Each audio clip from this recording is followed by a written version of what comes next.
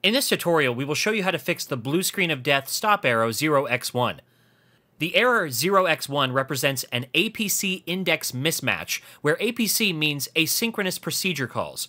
This is usually when the Windows system file win32k.sys starts, but due to some problems cannot function properly. This error suddenly appears when your Windows is booting in normal conditions, and then suddenly your system restarts.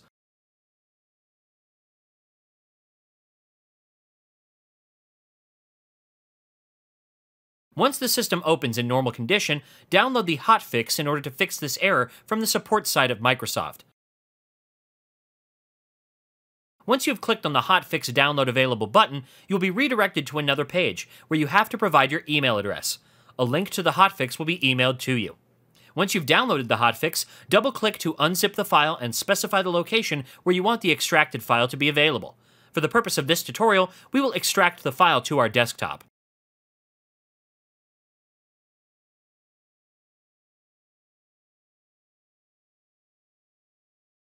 Next, double-click on the hotfix file in order to open it.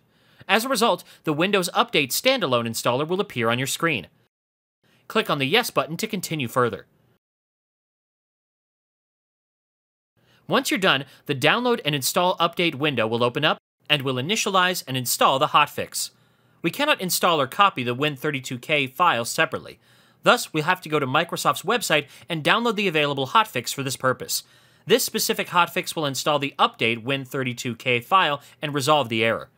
In this manner, the corrupted file will be updated, and when it is complete, it's recommended you restart your computer so the changes will take effect.